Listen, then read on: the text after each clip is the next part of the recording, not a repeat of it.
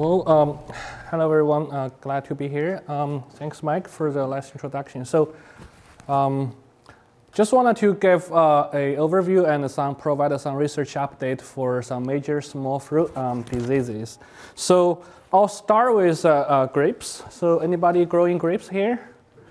Oh, quite a few. That's that's great. So, um, this is just a list of uh, major grape diseases, right? When it comes to grapes, I'm I, I'm sure that you know, you, downy mildew, powdery mildew, those are well-known grape diseases. Um, so in this list, most of those diseases are, as you noticed, are caused by fungi, except for downy mildew, which is an oomycete disease, right? Downy mildew, I think, probably is one of the most important diseases in our region that everybody has. Uh, powdery mildew uh, so far has not been a major concern, and, but it is a big problem in California um, where the weather tends to be drier. And uh, Phomopsis, black rot, those are uh, pretty big issue early in the season. And uh, I'd like to focus more on late season bunchy rots. And late season bunchy rots actually is a term that describes different diseases that occur later in the season. So, um, well, it has been uh, considered as a, a major threat in our region. And you probably see grapes like this, right? And also like that. And a lot of them are not easy to identify, to figure out what exactly caused the issue. But you probably guess there are multiple organisms involved as the symptoms, they look different. And you're absolutely right, after incubation in the lab for a few days, and you see grapes like this. And you can see the sporulation from different fungi uh, on the same, in the same cluster.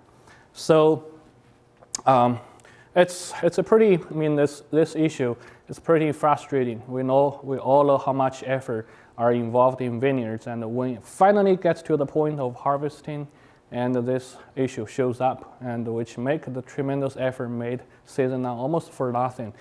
Um, so uh, to address this, we uh, in the past two years, we collected samples of lacers and bunchy rots from different vineyards, and we identify uh, the isolates to different species.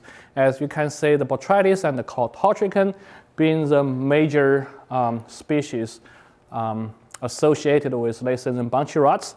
However, um, those are, are, there are, are uh, other species uh, that are that were pre pretty frequently isolated from the season bunchy rots, including Pestalotiopsis aspergillus, as well as Alternaria species. Um, so, uh, according to some uh, literature, those fungal species are considered secondary um, invaders, secondary pathogens, which means uh, they are not capable of infecting, initiating infections uh, by themselves. And so to confirm, so we, so we uh, had a trial last year to confirm their pathogenicity under field conditions of those secondary invaders. And we also, we were also wondering is there differences in cultivar susceptibility and does the pathogenicity vary at different growth stages as well as is wounding necessary for, um, for disease.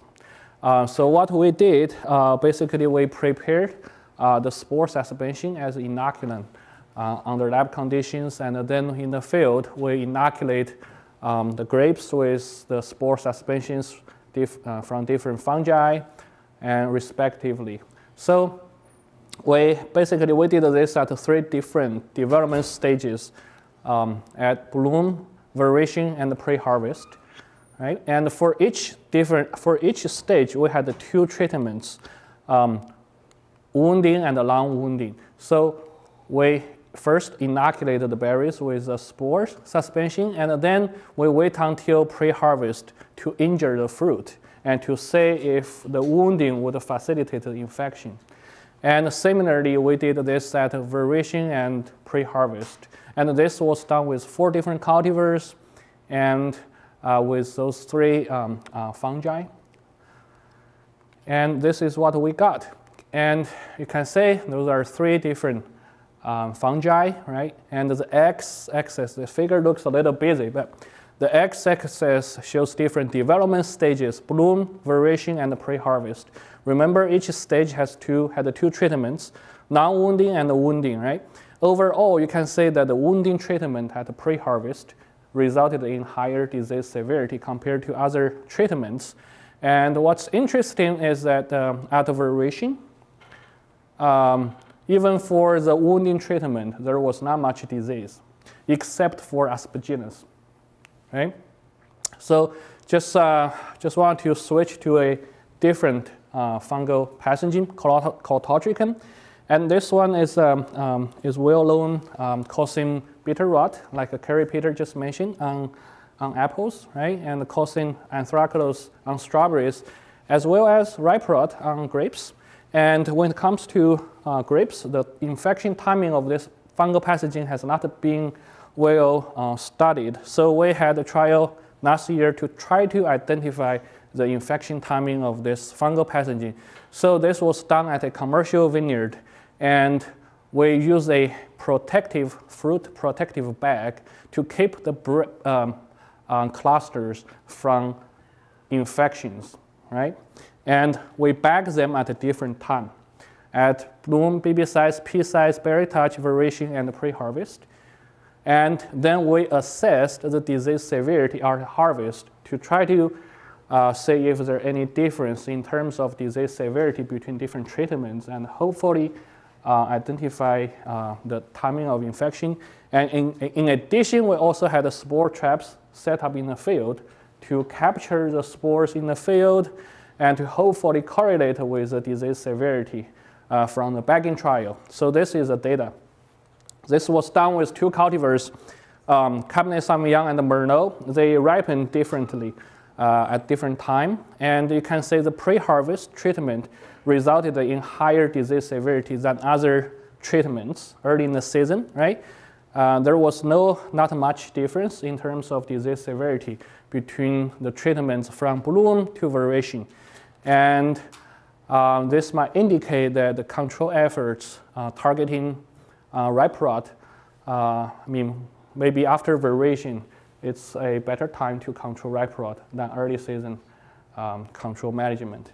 So uh, just to make a conclusion, um, those three fungi, they seem to be all pathogenic when wounding occurs. Now, wounding occurs at veraison, resulting in the few infection of Alternaria and the Pestalotiopsis. Aspergillus seems to be most pathogenic of all the three fungi. Now, Chardonnay uh, was the most susceptible cultivar to Alternaria and Aspergillus, and our preliminary data that suggests the infection may rather occur later in the season. Uh, that's for the ripe rot Colletotrichum uh, timing trial.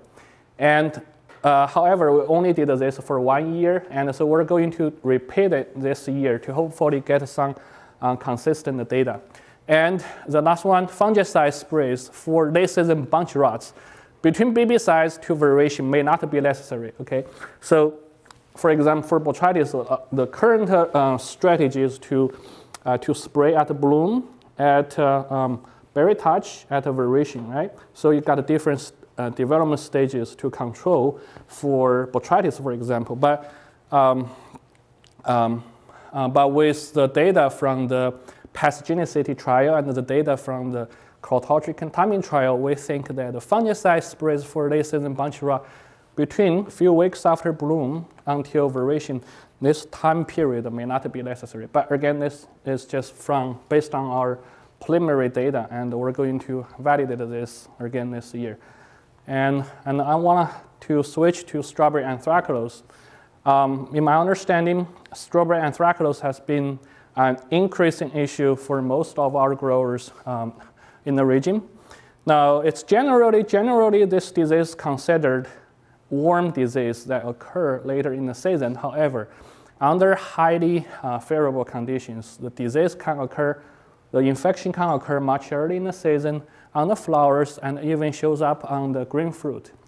And um, the pathogen is also uh, capable of infecting the crown, the root, causing the anthracnose crown rot.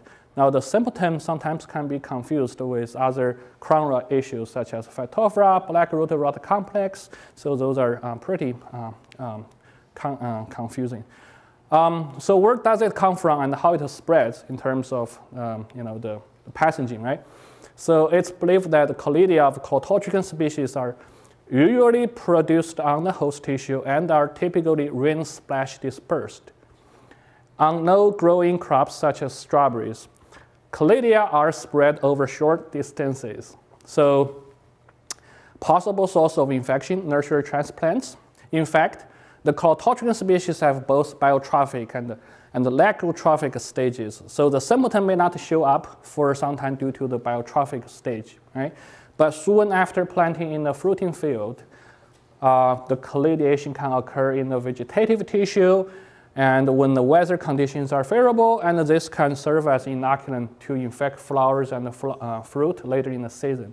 So, but uh, um, uh, be mindful that not all infected transplants will result in a disease. So this would depend on the level of inoculant in transplants. It depends on the cultivar susceptibility as well as the weather conditions. Um, so other possible source of infection, weeds, right? Colletotrichum has a wide range of hosts, including weeds. Uh, however, the fungi seem to live on weeds as an endophyte or remain latent, so which unlikely produce conidia that are needed for dispersal. And even conidia are available from, from other hosts, they're limited in distances that they can spread as a water splashing pathogen. And survivals in the soil, this also uh, is a possible source of infection. And it's, the pathogen is not a typically a, is not a typical soil-borne pathogen, but can survive in the soil for up to 12 months um, when um, um, under dry conditions. So survival of Conidia and sclerotia declined rap rapidly under moisture conditions. And there have been some studies that showed at 11 soil, 11% soil moisture content, the time required for 95 loss of viability was 70 to 75 days. So if, if the soil at field capacity, 22% uh, moisture, and the same level of reduction in the population recorded within 4 to 10 days. So it depends on the soil uh, moisture content, right? If you have a drier soil, then uh, you might consider this possible uh, source of in, uh, infection. Um, control of strawberry anthracnose, chemical control has been a major uh, method for strawberry anthracnose management. Now, strawberry fungicides, FRAC 11, and are the most effective, but resistance has been a big concern and has been reported in the Southeast. Uh, as a matter of fact, we also detected resistance to this chemical group uh, from the, I mean, in the isolates from our region, uh, from Maryland and um, uh, Virginia, as well as Pennsylvania. We had about 30% of isolates uh, that are resistant to strobilurins. Um, FRAC, FRAC 1 Topsin M, this, this group is effective only against uh, gloeosporioides. Uh, based on the isolates we collected, most of them are acutated, not this gloeosporioides. And even uh, for the isolates within gloeosporioides, some of them, some of them have developed a resistance to Topsin M. So Topsin M probably is not going to do anything for anthracnose control at this point. And other fungicides such as Captan and Switch are effective to some extent. They're not as effective as strobilurins if resistance is not a concern because Captan and Switch, they uh, do not have a strong um, um, uh, systemic activity. And, and other cultural-based uh, control methods, including sanitation of infected plants and the fruit, uh, however, there have been a few studies that showed this method might not be effective. Also, it's quite labor intensive, right? May not really be economically uh, uh, feasible. And the living mulches or organic mulches, they're likely effective, increasing plant density.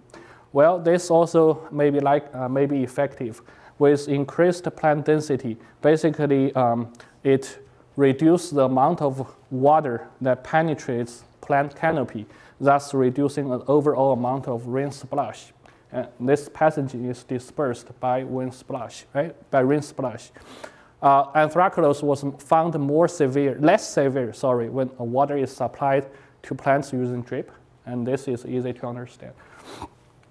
Okay, so are there any new or existing fungicides that may offer some efficacy for strawberry anthracnose? Now, those are the species we identified so far from the anthracnose isolates. Um, uh, again, we have two, we're dealing with two different species complexes, Colletotrichum acutatum and Colletotrichum gloeosporioides. And under acutatum, uh, there are two species, Nymphaea and fioriniae. And under Gloeosporioides, uh, Colletotrichum siamensis. And we have detected resistance uh, in those two species to FRAC11. And this Colletotrichum acutatum complex is naturally resistant to FRAC1, to Topsin M. And whereas Gloeosporioides, we have found the resistance to both strobilurins and Topsin M. Um, so you can say either FRAC11 or FRAC1 will do much for anthracnose management. Um, so um, we tested the sensitivity of our Colletotrichum species to different FRAC3 fungicides. Uh, this group, I mean DMI fungicides, has not been used much in strawberry production. And uh, the reason that I'm interested in this group is that this group has very strong, um, has a strong systemic activity. And also um, there have been some, uh, quite a few, a number of active ingredients within this chemical group that some, you know, somehow they, they vary in their efficacy for uh, different um, uh, fungal species con uh, control. So the x-axis, x-axis shows different active ingredients within this chemical group, and the y-axis shows the EC50 values. The higher the bars are, the less effective the fungicide would be. And clearly, propiconazole and difenoconazole performed much better than other active ingredients within this same chemical group uh, for all those different Colletotrichum species identified so far from strawberries. Okay, and propiconazole, that's, um, uh, that's tilt. And difenoconazole, that's um, um, um, Quadris top. Uh, in addition, we also tested the sensitivity of our, I mean, of um, the Colletotrichum, different Colletotrichum species to different active ingredients within SDHI fungicides, within FRAC7. So you can say, again, the, the, the, the higher the numbers are, the less effective the fungicide would be. So you can say penthiopyrad and the benzoin, those are the uh, probably um, uh, much more effective than other active ingredients within this group. Now, BOS stands for boscalid, that's pristine, right? Fluxapyroxad, that's Merivon. And penthiopyrad, that's Fontelis. And fluopyram, that's Luna, uh, Luna series. And this one, benzoin, this has not been labeled for strawberries, but it will be labeled soon um, but it's, it's labeled on grapes, uh, the Aprovia. Okay, so take home message, resistance to QI, FRAC11 or FRAC1 is common. Use of these two fungicide classes may no longer be effective. And Captan should be included in every sprays during fruit ripening. Right? Again, the pathogen is considered a warm pathogen that likely occur later in the season during fruit ripening uh, the disease pressure is gen generally higher. You want to include the Captan, which does not select for resistance. Uh, certain DMIs, tilt and quadris top and Fontelis may be useful, okay, but their efficacy need to be validated under field condition. And avoid growing highly susceptible cultivars, highly susceptible cultivars in open field conditions. Any practices that can keep water or rain off from the uh, of the plant will be uh, will be uh, um, beneficial. So do not keep strawberries in permanent crop areas, especially when soils are on the dry side. What? The last point, I, I don't understand what. Oh, so it's like a rotation. Oh, okay. Yeah, especially when the soils are on dry side. I'm sorry, Jim Brown used to provide these. Okay, so at last I wanted to just touch briefly on, on some bramble diseases. Uh, just a brief overview of the disease and their management. So there are there is a number of uh, diseases uh, in brambles, right? Fruit rots, foliar diseases, cam crown disease, and viral disease as well. Uh, botrytis is a common disease that goes on to different small fruits. And you can say that the spores are produced from the, the fruit and which will uh, be spread by, you know, by wind to other to infect other healthy uh, fruit during the same season. So we we, um, this, this fungal, fungal pathogen has tremendous ability to develop resistance to different active ingredients. Um, so we connected isolates from different small fruit, um, blackberry, raspberry, grape, strawberry, and we tested for resistance to different active ingredients, right? So those are different active ingredients, and the y-axis is the frequency of resistance.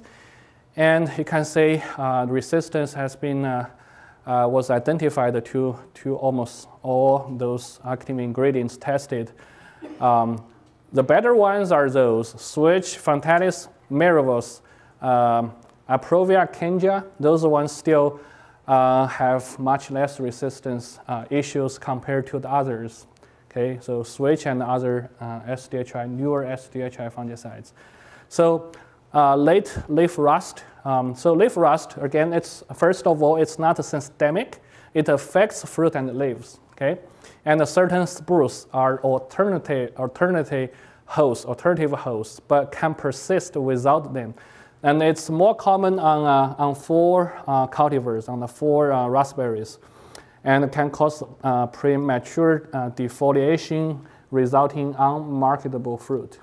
And uh, cultural control for uh, the leaf rust uh, do not pull the plants out because it's not, um, it's not a systemic disease. You want to keep the plants. And improve the airflow in tunnels, remove floricanes, right? And avoid the planting near white spruce. That's, that would be alternative host for this uh, fungal for this pathogen. And chemical control uh, typically not needed, but FRAC3 and 11, DMI and strobilurins, those are uh, pretty effective. Uh, you want to include copper for resistance management. Now, viral diseases. There was a survey conducted in Pennsylvania um, two years ago and to test for viruses virus in, in, bramble, uh, in brambles, you can say 54 tested positive for a virus, many were wild. So the, the viruses, I mean, it's pretty common and it's very, I mean, it's commonly existed in wild brambles. And in order of frequency, uh, there are different viruses have been uh, reported, okay? And management, well, you want to maximize the distance from wild brambles or older plantings and control low vectors such as aphids in particular and uh, thrips, and watch for symptoms, remove plants. So at last, I wanted to uh, touch briefly on orange rust, and it's a problem um, for black purple raspberries, and some blackberry cultivars also got the, uh, get this issue as well. It is systemic, so it's different from um, um, leaf rust, which is not systemic. Now, bright orange spores in late spring, it has a very complex life cycle. Two spores types at different times of the year. Now, this is the life cycle of the, the disease. It looks very busy, very complicated, right? But I, I will try, try my best to, um, uh, to explain this. So let's say you have a plant infected with orange rust. Early in the spring, the new cams are spindly and leaves appear deformed and yellow. And later on, the sessha will uh, develop on the underside of the leaf, appear waxy at first, and then turn bright orange. And aeciospores will uh, be released and dispersed by wind and splashing water. Okay, and during, uh, during summer, in late May or early June, uh, the mature leaves will be infected by the aeciospores. And, and you can observe the dark and the brown uh, spots on the underside of the mature leaf. And from, from there, the, the teliospores will be uh, produced. Now, uh, at this point, teliospores will either germinate or not germinate. In case it germinates, it will continue to produce basidiospores that infects um, the rooting cam, the buds of the, uh, the rooting cam. Now the fungus become, uh, became uh, systemic, systemic. In case it doesn't germinate right away, it will overwinters in all the plant, in all the leaves, and in spring, uh, it will germinate to produce um, basidiospores that infects the new shoots from the crown. Then, then the fungus become, becomes systemic. Okay, so that's the whole cycle of the disease. But you, if you pay enough attention, you probably notice that there are two, um, you know, infection. The infection would happen two times in a season during the same season, right? During spring and during fall.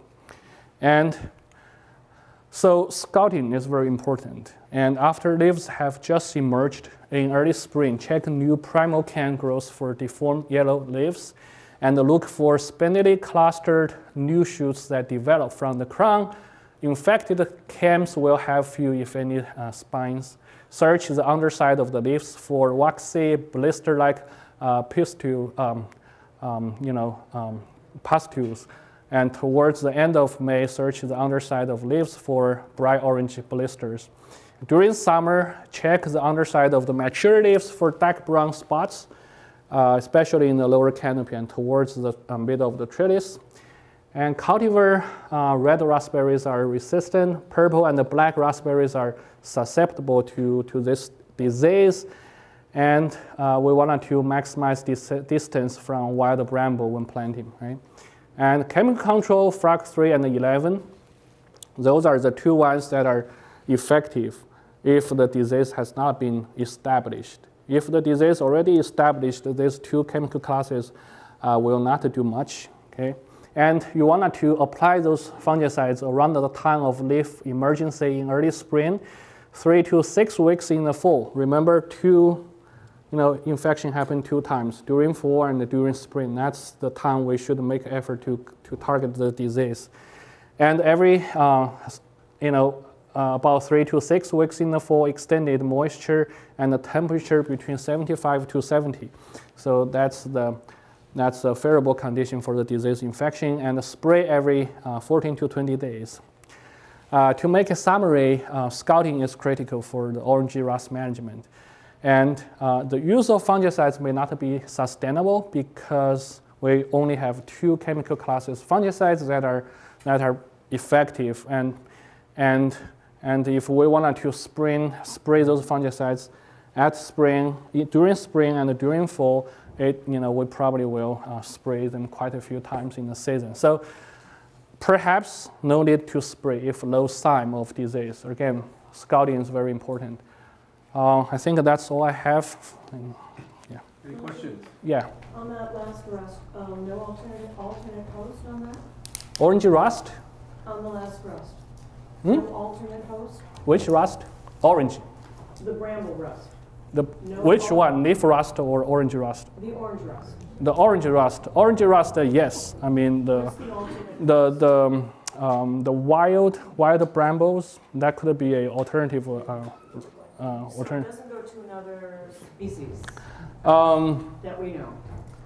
well, it's because it's a systemic disease. It, Okay. it doesn't require another host to complete its life cycle. Yeah. Got it. Thank Oops, sorry. Yeah. Yeah. Yeah. When you talk about uh, phylloxis on blueberries, Phomopsis on blueberries? yes, Uh, well, as far as I know, you know, in grapes, I know pruning really helps. You know, you want to do a good job to prune them out, and followed by mancozeb application, that would help. Uh, Lime sulfur, Sulforix. lime sulfur, Dormant sprays. dormant spray, yeah, that has some efficacy to some extent. It's not a quite, it's not very effective, but it helps. Yes. Yeah, please. Yeah, you said that uh, all red raspberries are resistant to the- the rust. To orange rust, yes. I had a variety I tested years ago, called Jaclyn, and it, uh, You got it. Okay. I've worked with Okay. Okay. Maybe it's not, uh, I know, completely resistant, but it should be much better than, than the purple and the black raspberries. Yeah. Okay, well, thank you very much. Thank you, Yeah.